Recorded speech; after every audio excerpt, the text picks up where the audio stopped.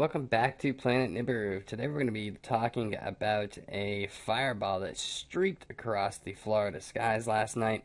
It was so massive and uh, was seen from the uh, panhandle of Florida, which is the upper left hand portion that touches Alabama and uh, Georgia, all the way down to the Florida Keys.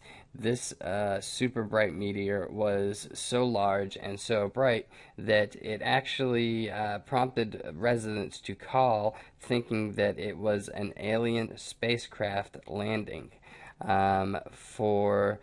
Um, residents of Florida to believe that they were being invaded by aliens. That must have been one massive fireball. You can see here that the uh, fireball looks to be about as big as maybe the sun would be during the day.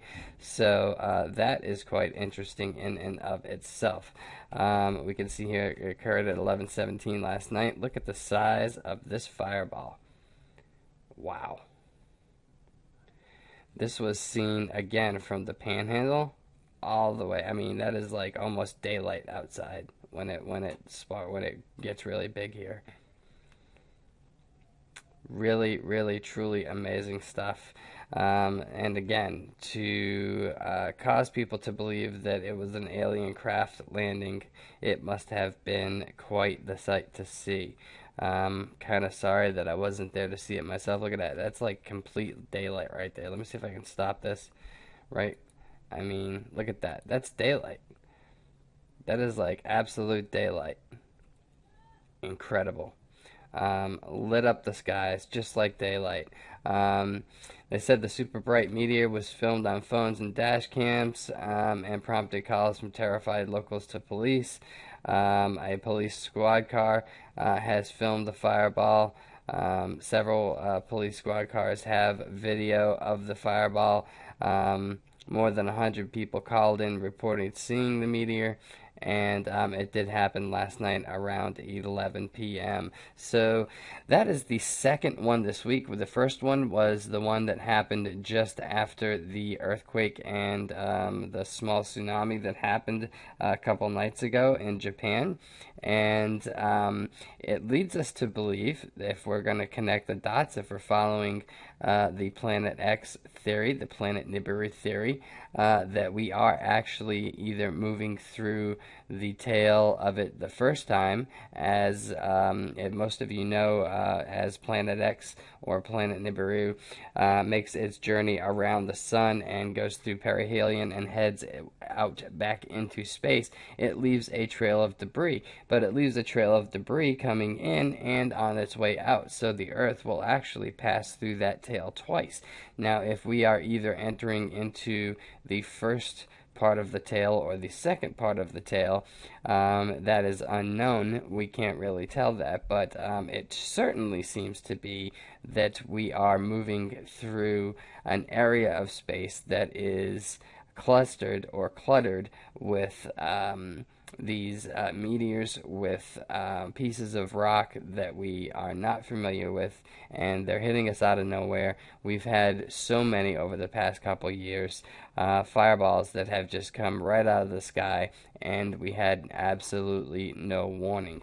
Um, it is only a matter of time until one of these is large enough to not burn up completely in the atmosphere and to actually hit the earth. When it does, it will hit with so much kinetic energy that it will cause devastation wherever it hits. Um, let us please, let us hope, let us pray that the um, size of the, the meteorites that do make it through are very, very small.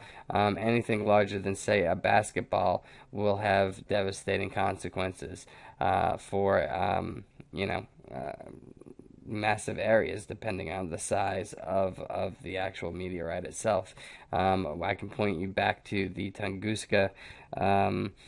Uh, asteroid, or excuse me, the Tunguska meteorite that happened around the turn of the last century and flattened large areas of Siberia. Thank God that it was uh, in Siberia and not a um, populated center in uh, Europe or even in the Americas um, because millions and millions and millions of people would have died.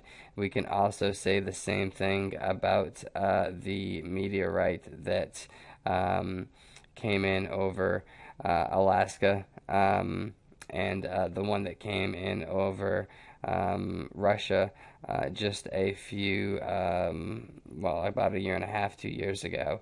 Um, that was the Chelyabinsk meteorite. That meteorite exploded uh, miles up in the atmosphere and still damaged thousands of buildings on the ground, injured over a thousand people on the ground, and it didn't even hit. Uh, had that hit, there would have been death there would have been destruction. Um, so keep your eyes to the skies, folks. I'd like to wish you all a very, very happy Thanksgiving. Um, spend some time with your friends and family, enjoy them, and um, enjoy the time that we have here together. We have so many things to be thankful for, especially those of us who uh, uh, live in the free world uh, where we can um, enjoy life in a fairly safe and fairly democratic society. Um, there are so many people around the world who don't have the things that we have. So while we're celebrating tomorrow, um, say a little prayer um, and, and appreciate the things that we have that others don't. Um, that's all for now, and we will be back soon with some more news. Thanks for watching, and uh, please don't forget to like and subscribe, and we'll see you soon.